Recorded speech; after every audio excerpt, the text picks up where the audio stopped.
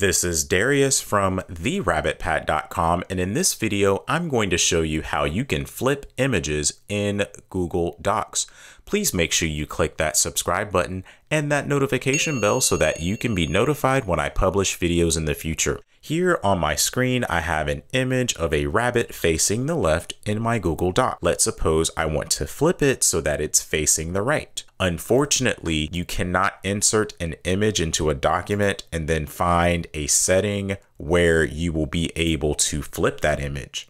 The only thing that you can really do as far as changing the direction of the photo is to right click, then click on image options, and then you'll have the opportunity to rotate that image either on 90 degree angles or specific angles of your choice.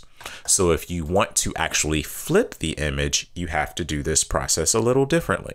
So I'm going to delete this photo, then go to insert, then click on drawing, then click on new. Once you are in the drawing window, you want to click on this icon of an image and then insert the image that you want to rotate. So in this instance, I'm picking the same photo again. Now that this photo is here, click on actions, click on rotate, and here you will have the opportunity to flip the picture horizontally or vertically. So I'm going to select flip horizontally, which will change the direction that the rabbit is looking from left to right. Once I'm satisfied with that outcome, I'm going to click Save and Close. And now that image of the rabbit facing the right is now in my Google Doc. So this video shows you how to flip images in Google Docs.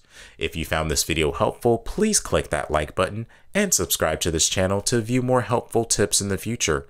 Also, please be sure to visit my website at therabbitpad.com.